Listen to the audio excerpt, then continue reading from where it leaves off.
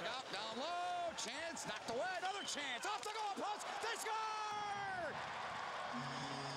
There's Hayes, Jimmy Hayes, the six foot five, prototypical power forward, 220 pounds. He gets the rebound out in front, and what did we say they were gonna bring early?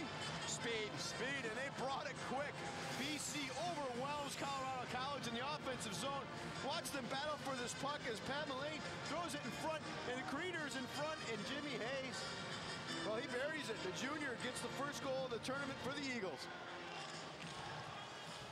Tap into the open net for Hayes.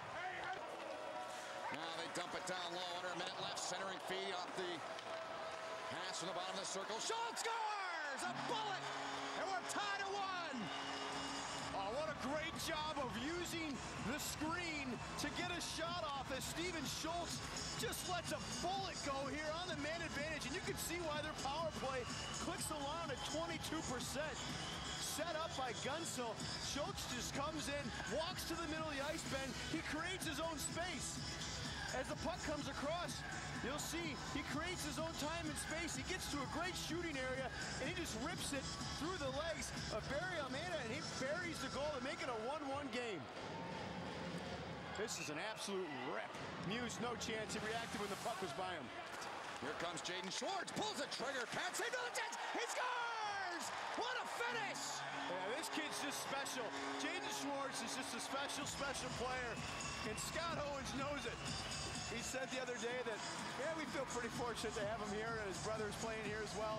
And this is just a phenomenal, phenomenal effort, individual effort coming down the wing, and BC's going to have to find an answer for this kid. Watch the move here. The puck possession and control. The ability to shoot and drive the net to pick up his own rebound. Samuelsson doesn't take him out of the play, and Schwartz is able to finish. But this is just a high, high compete level and a sick, sick set of hands. He's not doing that slow-mo. No, it's amazing. Another chance they score! They take a two-goal lead. There's Rylan Schwartz giving them a two-goal lead. Well, guess who set him up? His brother. I mean, this is getting ridiculous here.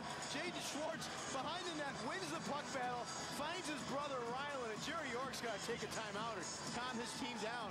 As this is just a great setup. Watch, Jaden Schwartz gets behind the net, and he gets himself in position. And I said he's got good vision, but this, oh. this is just so quick. Happens so fast, it. Quick one-timer, no chance for Muse, and BC's got to find their game. Wow. Boston College now. 85 seconds left in a period. Quick step, and it's flipped in there. The Tigers on the move. They score! Oh, what a play! Civitarese makes it 4 to 1. Uh, button down the hatches here because the roof is flying off in St. Louis. Everyone is shocked, at, uh, gotta be shocked at what's going on. It's Civitarese shorthanded, and this is, he, there's no way he should be able to win this foot race back to the net. And he beats, driving the net hard, he wins the battle and beats Muse five-hole backhand, and I love this move. Just a beautiful move, forehand, backhand. Civitarese, big, strong junior, six foot two, 204 pounds. Bet he gets his fifth goal of the season. It's a short-handed one. Wow. A thrill it's got to be for those two guys to play together. Here's Carey with a shot. Good stop. Now he scores. Paul Carey makes it a 4-2 game. Now BC needed some momentum to go their way, and this is what they do. They score off the rush. With all the speed they have, a poor defensive decision by the Tigers leads to a great offensive opportunity and a nice goal here by the Boston College Eagles. Just a quick shot in. The driving the net hard is Patrick Brown. I'm not sure who gets this, if Carey gets it or Brown gets it, but either way, it's a big goal for the Eagles. I think it's going to stick with Carey. St. Louis Brass, I'm sure, is here watching their first overall pick from this past summer, 14th overall selection. There he is, just a great young man, big smile on his face, and a tremendous, tremendous game for an 18-year-old. It's never easy when you're 18 years old to come into college hockey. Fortunately for him, he had an older brother who was there, he's such a talent. He really is. 35 seconds left. Colorado College power play. Up 4-2 down low. There he is. Knocked it and he scored. I'm not, I'm not sure how you defend this kid because he's so slippery. He finds his way into the area, scoring areas all the time with no one touching him. And BC just lets him skate through the middle. You got to get in his way, give him a shot because he is just going berserk on Boston College right now. Watches this play goes in. No, no one takes him. They just let him go to the net. And uh, he's, he's the wrong guy to let do that. You got to let him know that he can't skate through the crease that easy. And he's having a great night in a rink that I think he's going to have many, many great nights in the future. Into the middle for his brother, knocked away. He's already got one. Civitarese trying to get another one. Short-handed, that is. Centered